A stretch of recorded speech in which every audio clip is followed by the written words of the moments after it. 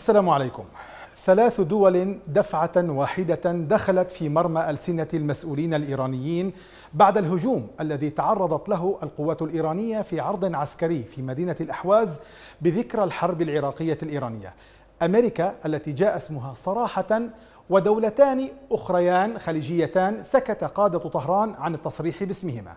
وبينما رأى مراقبون أن رد الفعل الإيراني يفتقد إلى التوازن تحت تأثير الصدمة وتحت تأثير الهزة التي لحقت أبرز مؤسساتها العسكرية.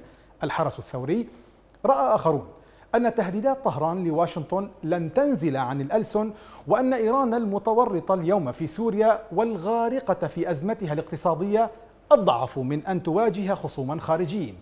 كل هذا لا ينفي أهمية الحديث عن الهجوم ودلالته في هذا الوقت والرد المتوقع من جانب طهران. هذا هو موضوع حلقة اليوم من برنامج حديث العرب. فأهلا وسهلا بكم مشاهدينا الكرام إلى هذه الحلقة الجديدة. فجأة أصبحت إيران في بؤرة الأحداث الأمنية في الشرق الأوسط. هجوم مسلح على عرض عسكري للحرس الثوري في إقليم الأحواز. يوقع العشرات من منتسبيه ما بين قتيل وجريح. الهجوم يأتي في خضم أزمات سياسية واقتصادية تعصف بالنظام الإيراني منذ أن أعلنت الولايات المتحدة الأمريكية انسحابها من الاتفاق النووي مع طهران وفرضها عقوبات قاسية تهدف إلى شل نظام طهران اقتصاديا وحشره في الزاوية في مواجهة تظاهرات شعبية ناجمة في معظمها عن المصاعب الاقتصادية التي يواجهها النظام في ظل العقوبات. ثم يأتي هجوم الأحواز ليضيف بعدا امنيا للتحديات التي يواجهها النظام الإيراني. فالهجوم وقع في الإقليم ذي الأكثرية العربية. ذلك الإقليم الذي يعاني سكانه من سياسات عرقية تنتهجها السلطات الإيرانية ضدهم وتستهدف بها هوية سكان الإقليم العربية. الأمر الذي يرجح معه تفاقم أوضاع العرب في الأحواز وتصاعد الانتهاكات الإيرانية ضدهم لا سيما بعد أن أعلنت المقاومة الوطنية الأحوازية مسؤوليتها عن الهجوم. ذلك الإعلان الذي قد يستفيد منه نظام طهران محليا في مواجهة الناشطين في الأحواز. ورغم أن تنظيم الدولة أعلن هو الآخر مسؤوليته عن الهجوم إلا أن نظام طهران اتهم كلا من السعودية والإمارات إلى جانب الكيان الصهيوني بالتورط فيه. اتهامات رفضتها السعودية ووصفتها بالباطلة. متهمة نظام طهران بالكذب والتدليس وإلقاء اللوم على الدول الأخرى لتغطية عيوبه وفشله في تحقيق طموحات شعبه. وبالنظر إلى الاتهامات الإيرانية وتوعدها بالرد يرى محللون أن ساحة الرد الإيراني على الأرجح ستكون في اليمن.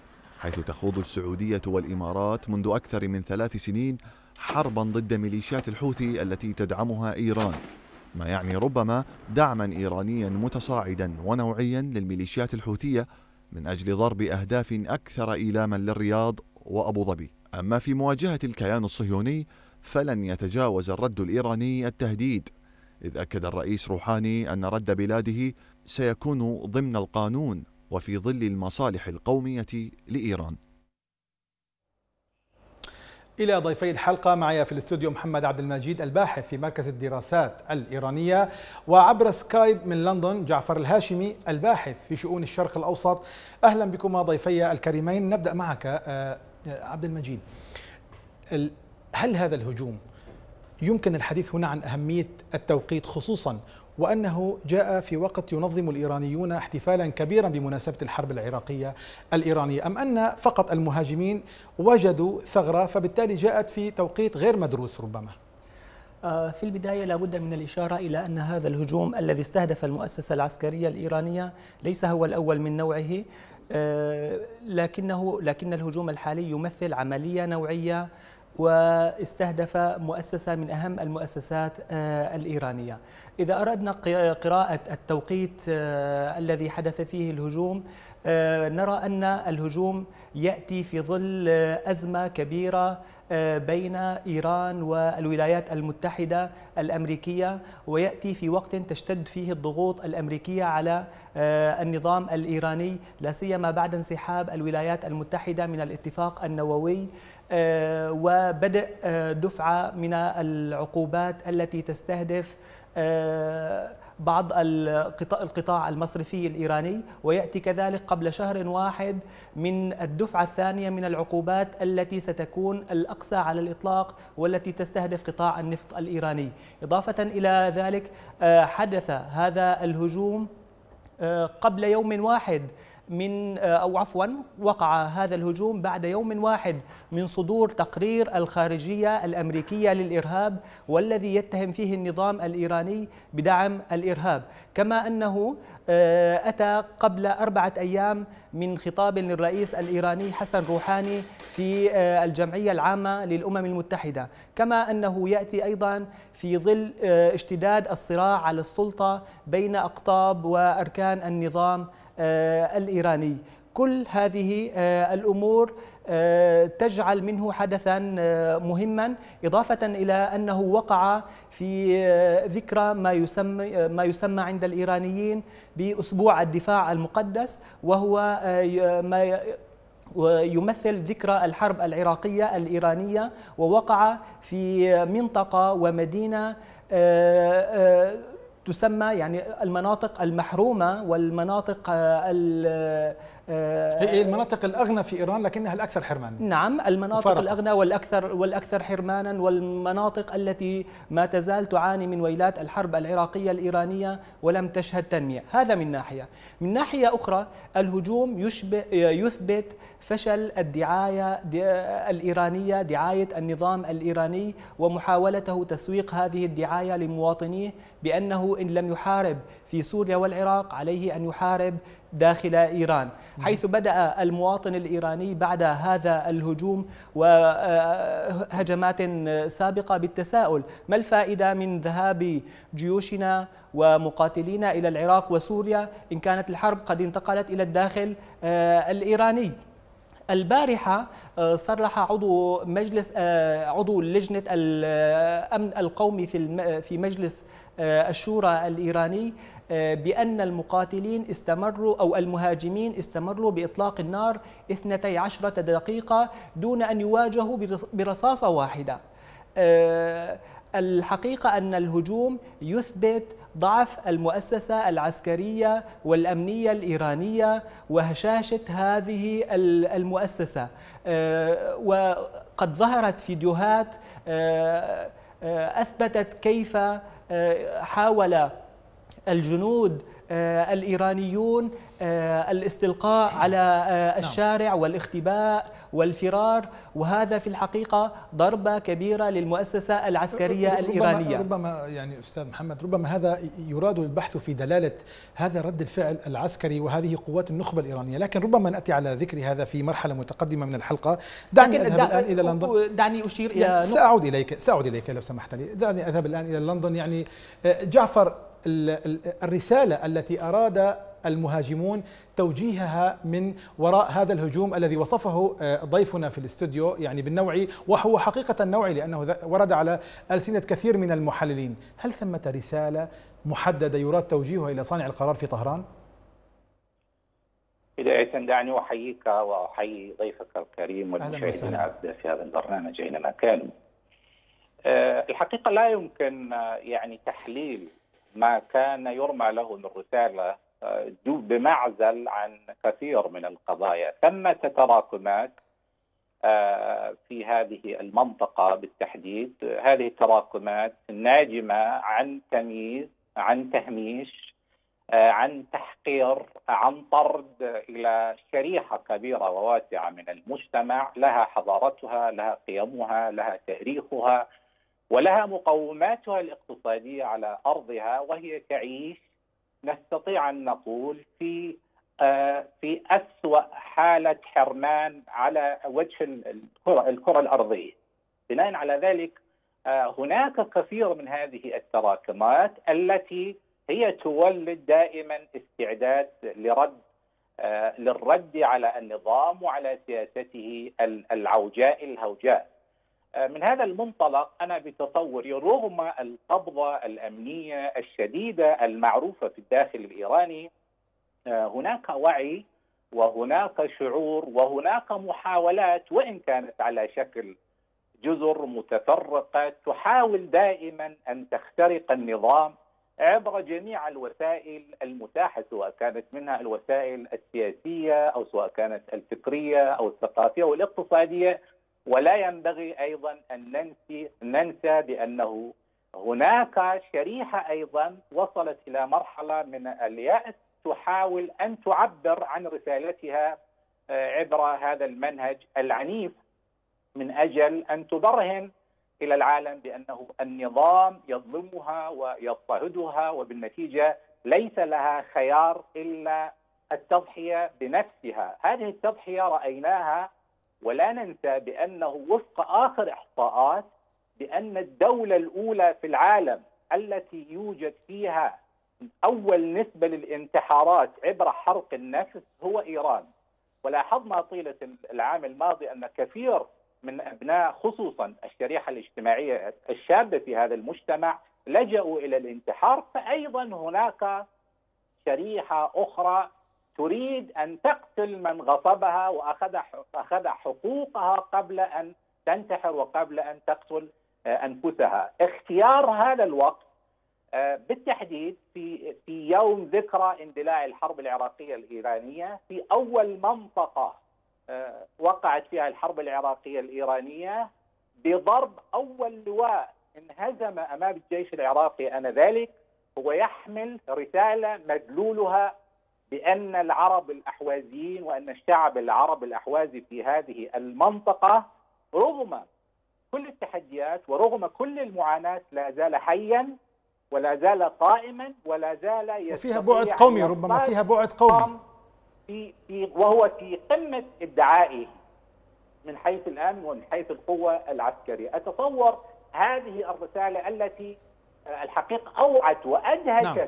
النظام قبل العالم بأسره هي كانت رسالة في محلها طيب. على النظام أن ينتبه لسياسته لكن العوجاء الهمجاء في هذا لكن لكن جعفر لو سمحت لي يعني هناك من تبنى رواية وقوف المخابرات الإيرانية وراء هذا الهجوم وله أسبابه في ذلك. هنا أريد أن أسألك.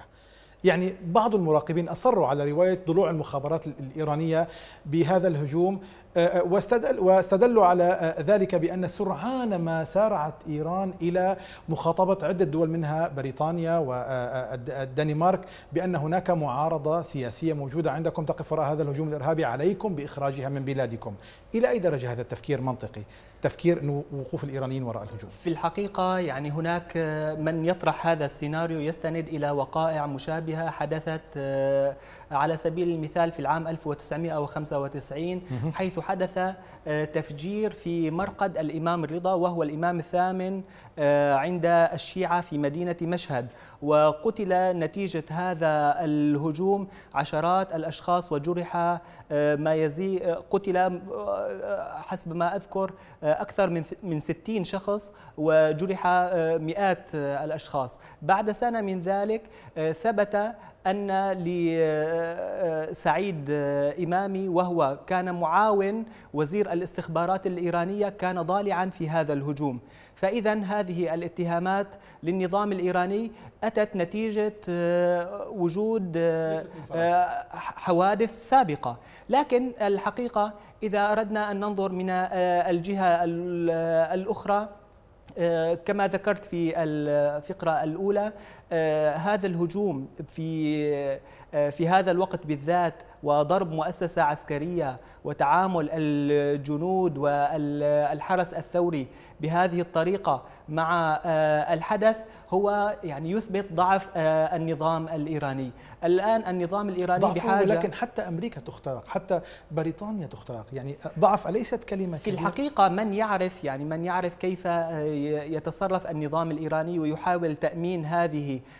المراسم آه، يعني يشكك كثيرا في آه، رواية الاختراق. لأن هناك يعني حماية من نوع كبير لهذا النوع من المراسم. اذا هناك ضلوع مخابراتي من الإيرانيين.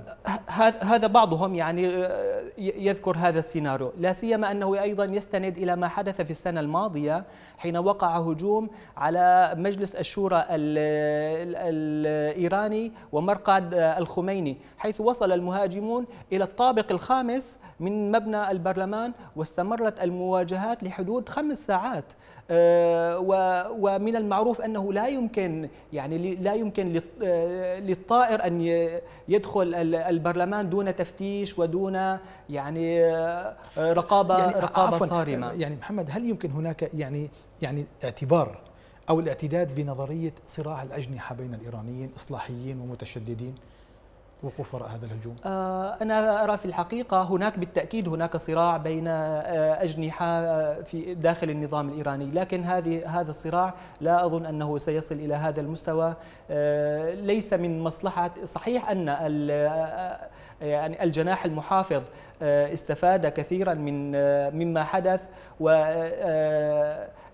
وجه رسائل شديدة للرئيس الإيراني بأنك عليك أن تعلي سقف التصريحات حين ذهابك إلى واشنطن وإحذر من التعامل مع مع أمريكا. صحيح يعني هناك توظيف للحدث لكن لا أظن أنه يعني هذا الحادث بالتحديد أنه أتى ضمن إطار الصراع بين أركان السلطة. طيب أريد أن أسمع رأي جعفر في هذا الخصوص. يعني إيران الآن تعيش عقوبات خارجية وبعد أيام بعد أيام قليلة ستفرض ستفرض أشد عقوبات ربما في تاريخ إيران عليها من قبل الولايات المتحدة الأمريكية.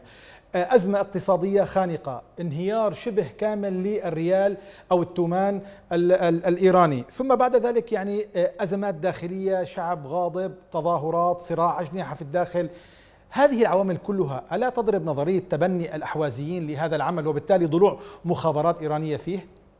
حتى يستجمعوا الرأي العام الإيراني ويوحدوا صفوفهم في مواجهة هذه الأزمات الخارجية والداخلية؟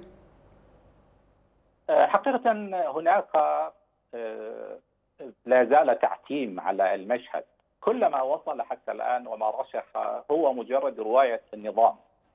آه، لا زالت هناك خيوط غامضة ولا زال النظام يحتفظ بالأفلام التي هي مسجلة.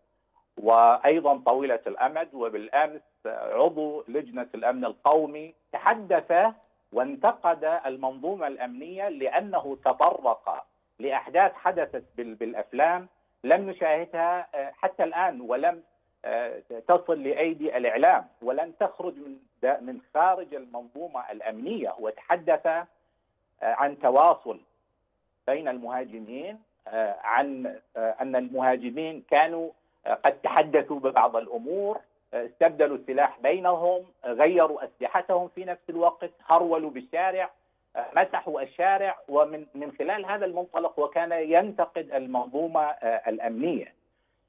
من كان حاضرا في المشهد حينما يروي الرواية يعطي صورة أخرى في الواقع تنفي ما ينسب بأنه النظام قام بهذا العمل. ما يفهم من هذه الصورة بأن المجموعة التي هاجمت هي لم تهاجم آه، الجيش.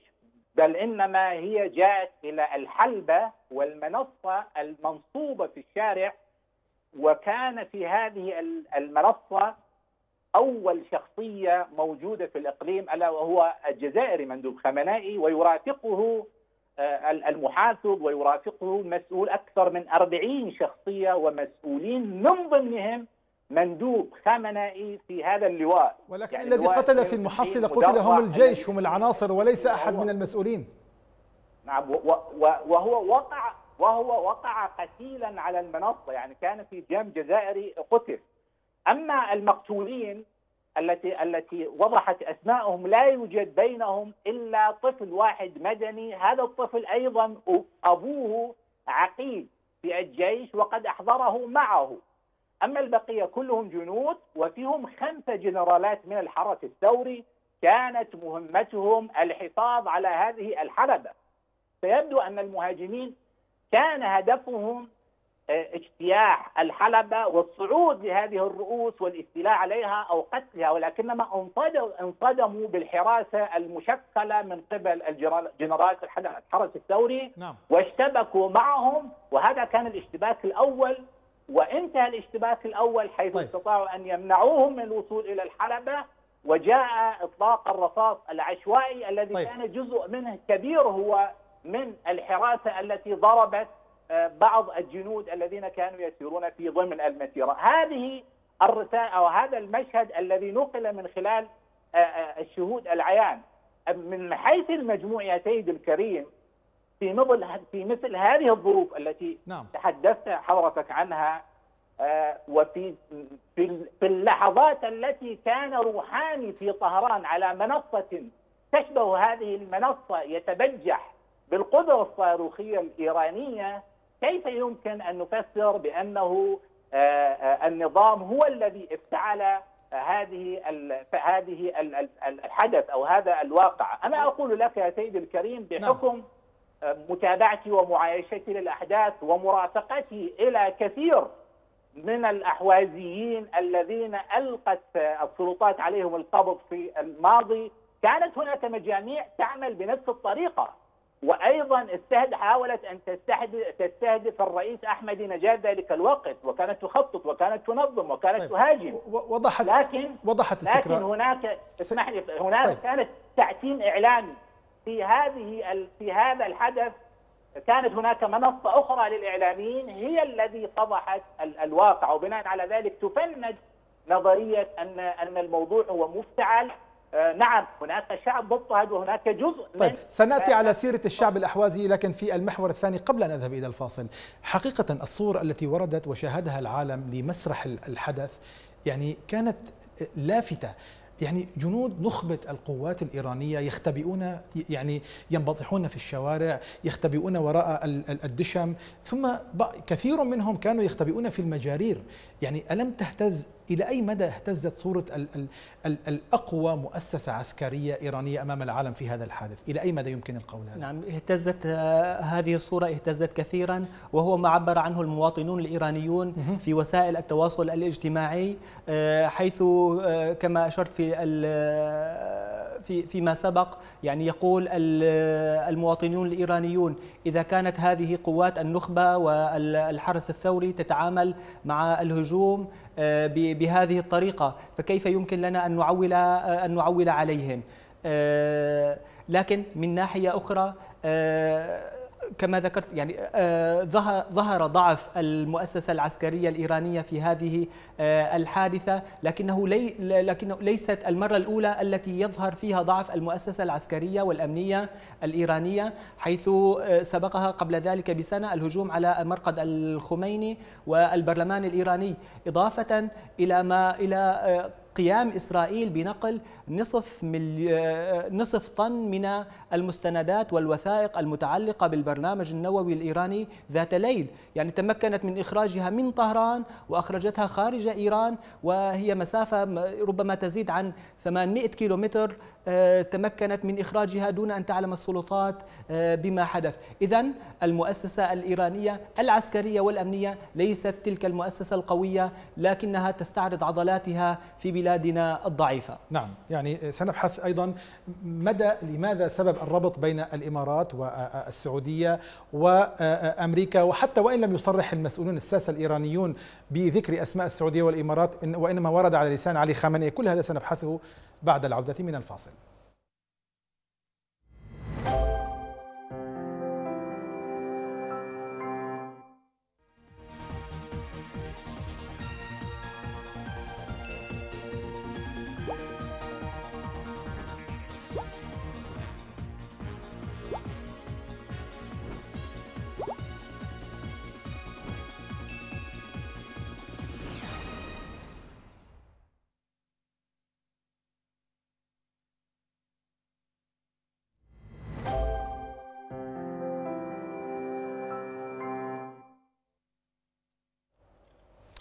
أسعدكم الله ما زلنا وإياكم في الحديث عن هجوم الأحواز وتبعاته على عرب إيران جعفر هل يمكن اعتبار ما حصل في الأحواز مقدمة لمرحلة جديدة من من عمل العسكري للمعارضة الأحوازية في الداخل الإيراني؟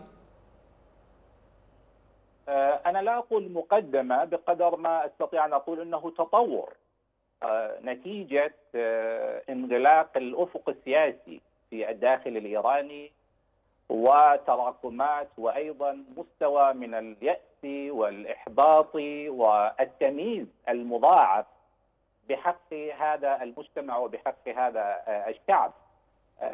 كانت هناك عمليات كثيرة ومتواصلة وكما أشرت قبل قليل إلا أنه كان يتم التعتيم عليها. تلك العمليات ربما كانت من حيث النوع أيضا في مستوى ومساحة أكبر من ذلك. ولكنما ربما اختيار الظرف والظرف الزماني والمكان وحتى أن تكون الفرصة ثانية أمام الإعلاميين لاقتناص هذه الصور وهذه الأفلام. والساحة كانت مفتوحة يعني في الشارع.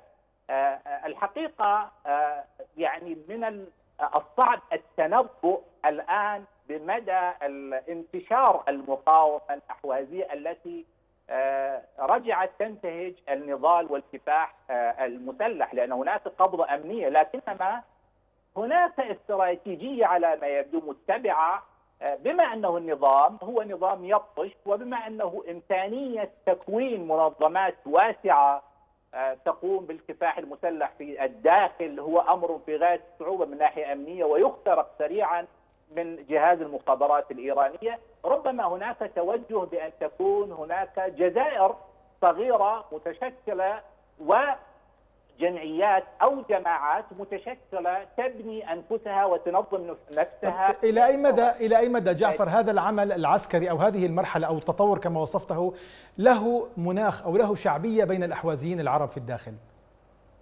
يعني دعني أقول لك أولا هناك أكثر من 90% من عموم المواطنين في هذه البقعة من الأرض مستائين ويتمنون أن ينقلب هذا النظام دون ريبة ودون شك. وهذه الأمنية وهذه المحاولة لدى الشعوب الأكثر تهميشا كالأكرادي والبلوشي وعلى رأسهم العرب الذين يعانون هذه المعاناة بأشكال متضاعفة ومضاعفة الحقيقة هناك توجه لأنه لا يوجد هناك اي منفذ للخروج من هذه الأزمات. السلطه السلطات منحت فرص كثيرة من أجل تعديل نهجها. نحن نتحدث عن إقليم فيه 97% من نسبة الغاز والنفط. نتحدث عن إقليم فيه ثمانية أنهر ومجتمعه لا يمتلك ماء يشرب. نحن نتحدث عن إقليم فيه أربع خمس ملايين إنسان عربي موجود في محافظة واحدة لا يوجد منهم موظف في الدوائر والمؤسسات إلا نصف واحد في المئة. ونحن نتحدث عن حرمان ومعاناة قل طيب. نظيرها في في العالم. وضحت وضحت الفكرة. سأعود إليك. لأنه الشعب يكون هناك مع وحي مع وشعور عام طيب. على خلق. هذا سأبحثه أيضا معك يعني إلى إلى أي مدى يعني يفيد هذا الهجوم الأحوازيين في قضيتهم أم يضرهم؟ لكن قبل ذلك نريد أن نبحث عن مدى الإفادة التي يمكن أن تحققها إيران من وراء هذه الهجوم هذا الهجوم في حساب المصالح الاستراتيجية البعيدة المدى الصراعات الداخلية والخارجية. هل هذا جاء على طبق من ذهب للإيرانيين حتى وإن أضر بصورتها بصورة مؤسسة العسكرية؟ نعم. هل هذا جاء على طبق من ذهب هدية يمكن أن يستثمرها الإيرانيون أم أنه أضر بهم أكثر مما أفاد؟ الحقيقة أنا أعتقد أن النظام يستفيد من هذا النوع من الحوادث من الحوادث أكثر مما يتضرر به صحيح أن صورته بدت ضعيفة في أعين الكثيرين لكنه في المقابل حاول استغلال هذه الحادثة وتوظيفها بأنه يعني بأنه يعاني من الإرهاب مثله مثل الدول الغربية مثله مثل أمريكا بادر بمخاطبة القوى العالمية ليثبت أنه ضحية للإرهاب وليس داعم له لا سيما وكما ذكرت أن العملية أيضا جاءت بعد يوم واحد من تقرير للخارجية الأمريكية تتهم فيه النظام الإيراني بدعم الإرهاب. النظام يوظف هذه الحادثة لإثبات نفسه أنه ضحية للإرهاب لإثبات يعني أنه ضحية يعني طرف يعني أنه ليس داعما للإرهاب كما يروج امريكيا. على العكس من ذلك يعني هو ألقى التهم على السعودية والإمارات اللتين يعني على عداء معه في الوقت الحالي. هو يحاول أن يقول لأمريكا هذه الأطراف التي تدعمونها هي أطراف داعمة للإرهاب وأنا ضحية للإرهاب. هو يحاول أن يكسب تعاطف الأوروبيين لا سيما قبل بدء الحزمة الأقصى من العقوبات القادمة. آه، الآن رأينا الرئيس الإيراني في خطابه في الأمم المتحدة آه، أسهب في الحديث عن هذا الموضوع وهو ما يجعل الشكوك أكثر بأنه يعني ربما كان النظام آه، إن لم يكن متواطئا في الهجوم ففي الحد الأدنى كان على علم به ولم يحل دون تحقيقه. طيب جعفر يعني هذا على مستوى إيران.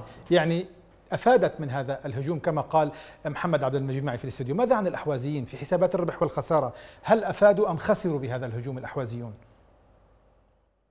الحقيقة لا نستطيع أن نقيم في مثل هذا الظرف وبهذه السرعة الفوائد أو المضرات ولكنما طبيعي نحن أمام نظام أمام لديه مؤسسات لديه إمكانيات لديه آليات دبلوماسية وسياسية ومراكز دراسات وبحوث وهو ماهر وجدير بأن يحول هذه التحديات إلى فرص يستغلها مقارنة إلى الأحوازيين آه الذين هم لا زال الكثير منهم حقيقة لا يستطيع حتى أن يحلل تحليلا آه متقاربا عما حدث. لا شك ولا ريب أنه النظام سوف آه ينتفع كثير. لا سيما أنا أريد أؤكد على هذه النقطة أنه لا تفصلنا عن أحداث البصرة إلا أيام معدودة. وأن الإيرانيين آه، الحقيقة ردوا على الولايات المتحدة الأمريكية بأنهم سوف يربكون آه، إصدار النفط طالما أن الولايات المتحدة الأمريكية تريد أن تصفر إنتاجهم النفطي. وأتصور أنه لديهم محاولة يريدون آه، أن يخلقوا فضاء ينسبوه إلى الإرهاب في جنوب إيران وكذلك حتى في جنوب العراق للضغط على دول الخليج وعلى إمدادات النفط هذه ربما من إحدى الفوائد التي قد يستفاد منها النظام على الصعيد الإقليمي، ثانيا هو دائما يلقي باللوم ويلقي بمشاكله على الآخرين، يريد أن يخلق هذا الرأي العام بأنه آه، حينما كانت السعودية والإمارات والولايات المتحدة الأمريكية هي السبب في مشاكله الاقتصادية وانحطاط عملته في السوق الإيراني الآن تلك الدول أيضا تحاول بأي شكل من الأشكال آه، أن توظف العناصر الداخلية لضرب النظام ولضرب الأمن. هذا على الصعيد الداخلي، أما على الصعيد الدبلوماسي لا شك أنه لديه أدوات ولديه إمكانيات يستخدمها، الأحوازيون لا يمتلكوا هذه الأدوات وأيضا في نفس الوقت هم لم يؤهلوا أنفسهم لأنه ليس لهم علم بما الذي يحدث. أما النظام بمجرد ما حدث رغم الارتباك الذي كان لديه لكنما استطاع أن يلملم أوراقه واستغلها واستفادها. هل هذه العملية النوعية سوف تعزز الوعي والشعور العام المشترك لدى الشارع الأحوازي وتربطه بنظائره من البلوش والأكراد لتكوين قاعدة تضغط على النظام بجميع الآليات والسبل منها المظاهرات السلمية ومنها أيضا الكفاح المسلح، هل يستطيع هؤلاء أن يقوم بهذا؟ هذا أمر لا نستطيع البت فيه وتقييمه آه، الآن ولكنما أنا أتصور بأن هناك قابلية لاستغلال هذا الحدث آه، نعم. للضغط على النظام الإيراني. نعم آه، تفضل تريد أن تعلق. خلال متابعتي يعني لما يرد من الناشطين الأحوازيين والمثقفين. أنا في الحقيقة رأيت أن هناك رفضا يعني عاما من قبل المثقفين الأحوازيين لما للحادثة باعتبار أن النظام سيستغلها ضد ضد أبناء الإقليم وستزداد قبضته الأمنية. وبدأ هو بالفعل يعني منذ الساعات الأولى للعملية باعتقال عشرات الناشطين والمثقفين العرب في الأحواز وقد وصل هذا العدد إلى يوم الثلاثاء يعني قبل يومين إلى 300 ناشط آه، آه، أحوازي. آه، إضافة يعني إلى أن هذا النوع من العمليات يعني بالتأكيد يعني هناك مضايقة كثيرة للأهوازيين لكن حجم هذه يعني ليس في صالح الاحوازيين هو هذا في نعم في حجم هذه الضغوط سيزداد في الفترة المقبلة. طيب, طيب في في تعامل المسؤولين الساسة الإيرانيين لوحظ أن الساسة تجنبوا ذكر الإمارات والسعودية كمسؤولين أو ممولين لهذا. الهجوم بينما اكتفى المرشد الأعلى علي خامنئي بتصريح باسمهما. الساسة الإيرانيون ركزوا على واشنطن استهدفوا واشنطن بأنها ستدفع الثمن آه، باهظا. يعني كيف هل هذا توزيع للأدوار أم أن ثم حسابات خاصة إيرانية يعني من خلال تسميت وعدم تسميت أو إهمال تسميت آه، آه، دول أخرى؟ ماذا تقرأ في هذا؟ في الحقيقة يعني ينبغي التأكيد أن النظام الإيراني دأب بشكل عام على تبرير فشله في إدارة البلاد وتصدير أزماته الداخلية للخارج واتهام الخارج بأزماته آه، الداخلية ففور وقوع الهجوم آه، سمعنا آه، اتهامات للسعودية وأمريكا وإسرائيل دون البدء حتى في التحقيقات. وتذرع النظام بتصريح سابق لولي العهد السعودي بأن بلاده ستنقل المعركة إلى الداخل الإيراني إن استمرت إيران في زعزعة أمن المنطقة. قبل أن يصرح مرشد الثورة باتهامه لدولة الإمارات العربية المتحدة كان هناك إحجام عن ذكر هذه الدولة بالتحديد. لأننا للمرة الأولى للمرة الأولى في تاريخ الجمهورية الإسلامية نرى اتهاما صريحا للإمارات بالضلوع خلف هذا الحادث. سابقا اعتدنا أن نرى ربما هناك سبب يبرر هذا.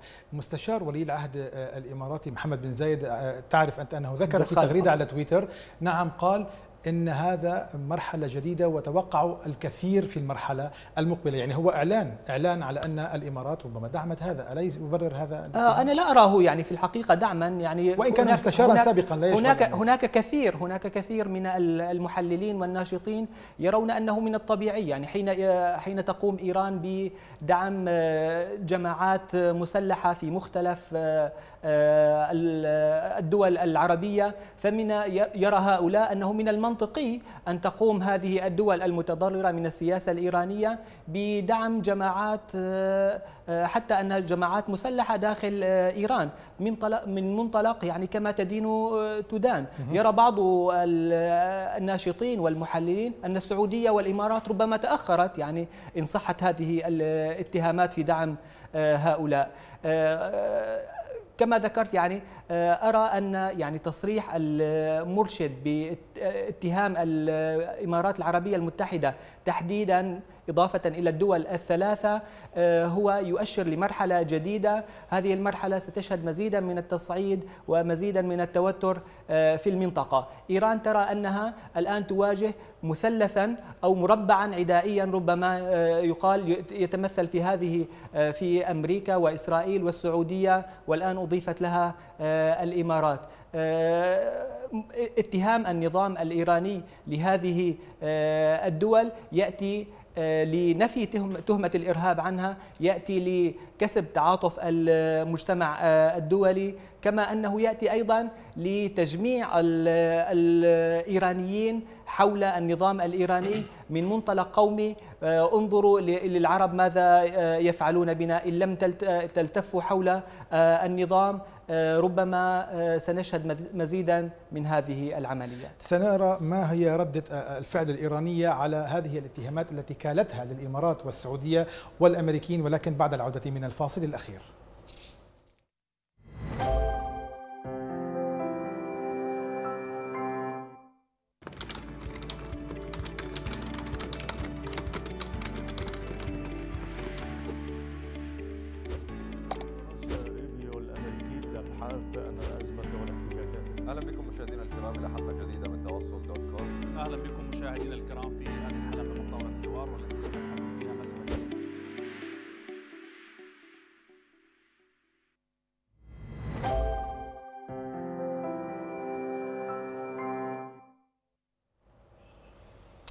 أهلا وسهلا بكم إلى الجزء الأخير من حلقة اليوم، جعفر عندما يقول علي خامنئي وهو أقوى رجل وأعلى سلطة آه، آه، آه، في في إيران ويتهم الإمارات بأنها والسعودية هما من مولتا المهاجمين ويتوعدهما إلى آخره.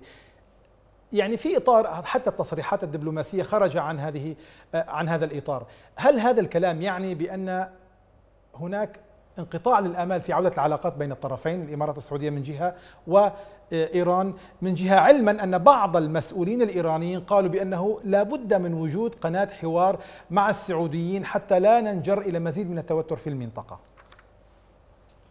اولا ينبغي أن ننبه بأنه طيلة الأربعة عقود الماضية كلما حدث حدث لا نستطيع أن نذكر مرة واحدة بأن هذا الحدث إيران تقبلت مسؤوليته وكأنها هي مقدسة اقتطعت من السماء وجميع ما يحصل في داخل إيران هو نتيجة مؤامرات خارجيه تحاك عليها.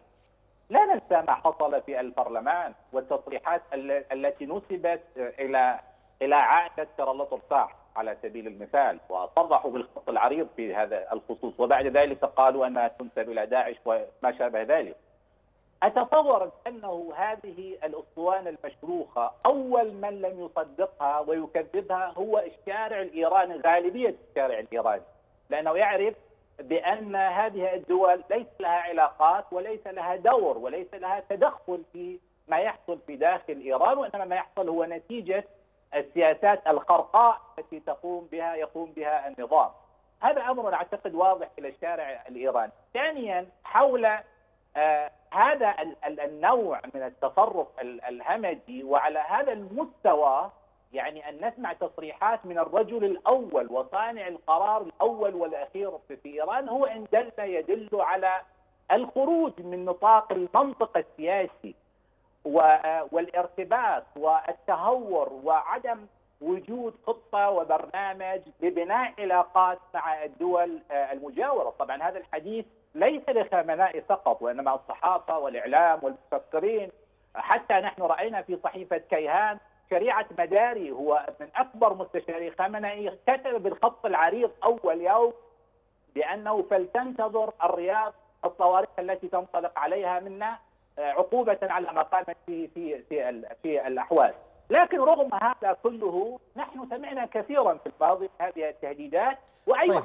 حدث في الداخل. لو أذنت لي سيد جعفر لو أذنت لي سأعود إليك لإمكانية ما يمكن أن تفعله إيران لأن الوقت صار ضيقا معك محمد. يعني كيف تتوقع أن يكون الرد الإيراني في المرحلة المقبلة خصوصا أن التصريحات كانت من العيار الثقيل؟ التصريحات من العيار الثقيل ولن تتجاوز هذه التصريحات الألسن. اعتدنا على سماع تهديدات مهولة من النظام الإيراني. النظام الإيراني في الوضع الحالي ليس في وضع يؤهله للقيام بعملية كبيرة. قد نرى قيام عمليات صغيرة هنا وهناك حفظا لماء الوجه ولإظهار قوة النظام الإيراني على زعزعة الاستقرار في المنطقة. بالتأكيد لن يكون الرد مباشر على الدول المتهمة لكن قد تلجأ إيران إلى عمليات صغيرة باستخدام أذرعها المنتشرة سواء في سوريا أو في في العراق في اليمن حتى في البحرين. لكن آه، لا لن تكون هذه العمليات كبيرة لا سيما وأن النظام الإيراني يعني يعيش عزلة حقيقية. الآن بعد الهجوم لو نظرنا إلى الدول التي أبدت تعاطفها وأرسلت تعازيها للنظام الإيراني بعد وقوع الحادث. من بين 22 دولة عربية لم ترسل تعازيها سوى آه، سبع أو عفوا سوى سبع دول عربية. ومن بين 57 دولة آه، في منظمة المؤتمر الإسلامي لم آه، آه، ترسل برقيات تعزية سوى 12 دولة. فإذا كان النظام الإيراني يعيش عزلة في محيطه العربي والإسلامي فما فقيامه بعمليات عمليات كبيرة ستزيد من عزلته ولن تؤدي إلى سوى إلى إلى خلق مزيد من الأعداء. نقطة مهمة يعني جعفر يعني سمعت يعني الحسابات الإقليمية والدولية بالنسبة للإيرانيين تبدو معقدة هل هذا يعطيك مؤشرا على أنهم غير قادرين على الرد من الأصل؟ لا شك غير قادرين على الرد تأتي هذه الفرقعات الإعلامية على هذا المستوى من أجل تخفيف الاحتقان في الشارع ومن أجل آه، رمي مسؤولية ما يحدث في الداخل الإيراني في سلة الآخرين وتحميلهم المسؤولية ومحاولة امتصاص الغضب الشارع الإيراني الذي يعرف بأنه الأسباب الجوهرية التي تؤدي مثل هذه إلى مثل هذه الأحداث وهذه التطورات هو أساليب النظام وممارسته. وبالنتيجة نحن لا نختلف بأن النظام هش وأتمنى أنه النظام الآن يتجرأ آه، آه، أن الحقيقة أن يطبق ما جزء ما يدعي، نحن رأينا كيف إسرائيل تهاجمه في سوريا وكيف مرغت أنفه في التراب دون أن يكون له رد، نحن الآن نرى نعم ربما هناك ردة فعل عنيفة يقوم فيها تجاه آه، أبناء الشعب العربي الأحوذي أو داخل المعارضة في داخل إيران بشكل عام. هذا من الوارد والمحتمل أما في إقليمه فهو لا يستطيع حقيقة آه، آه، أن يقوم بإجراء شأنه القضاء عليه. نعم. طيب أختم معك بدقيقة. يعني أنت قلت بأنه ربما يستخدم أذرعه لإزعاج الأمريكيين أو غيرهم في, في, في المنطقة. شكل هذا الرد والمساحة البقعة الجغرافية التي يمكن أن أن ينطلق منها برأيك في الحقيقة هناك بقعتان يمكن الرد من خلالهما. الرقعة الأولى تتمثل في شرق الفرات ومناطق تواجد القوات يعني. إحدى هذه الأماكن المرشحة لتنفيذ العمليات. في شرق سوريا قد تكون هناك مضايقات وإزعاج للقوات الأمريكية الموجودة. موجودة في شرق الفرات وال... لكن لا وجود للنظام هناك. لا وجود إلا نظام بقعه في القمشلي محاصره، كيف يعني سيزعجون الأمريكيين؟ يمكن يمكن في الحقيقة هناك تحرشات حدثت في عدة مرات وحيث حاول النظام والميليشيات التابعة لإيران لكنهم اختراق في الأرض. اختراق آه، نهر الفرات فقصفتهم الولايات المتحدة مباشرة. هذه الرقعة البقعة الأولى، البقعة الثانية قد تكون بالايعاز للحوثيين بإطلاق مزيد من الصواريخ آه، البالستية تجاه آه، المملكة العربية السعودية وقد وقد يعني وإن كان احتمال مستبعد نرى آه، توجيه هذه الصواريخ تجاه الإمارات العربية المتحدة. أشكرك شكرا جزيلا. مشاهدينا الكرام وصلنا إلى ختام هذه الحلقة التي أشكر في نهايتها ضيفي في الاستوديو محمد عبد المجيد الباحث في مركز الدراسات الإيرانية كما أوجه الشكر لجعفر الهاشمي الباحث في شؤون الشرق الأوسط كان معنا من لندن عبر سكايب. شكرا لكم. إلى لقاء في موضوع جديد من حديث العرب.